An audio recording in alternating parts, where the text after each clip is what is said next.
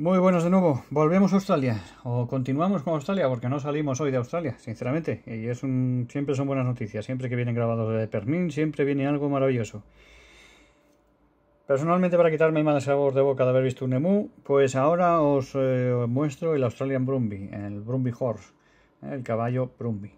Así se denomina esta raza, eh, al parecer, de caballo.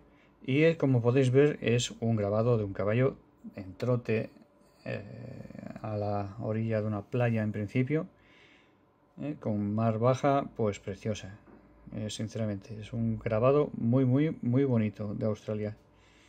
Tiene su experiencia en los años lunares y se ve reflejada en el grabado del caballo en,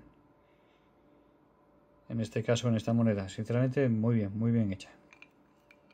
Reverso, como podéis ver siempre, un dólar de valor facial en Australia con la reina de la Commonwealth.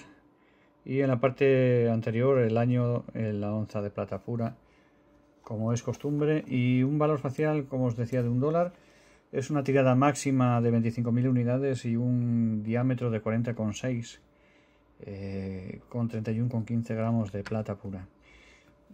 Francamente me parecía os digo dentro de lo que son los grabados de caballo uno de los más bonitos que he visto hasta la fecha. Hay, algunos preciosos y este pues no desmerece. Es un buen, buen, buen grabado, sinceramente.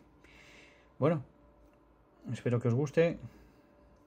Si no, ya sabéis, también lo decís, que esto va en gustos, afortunadamente.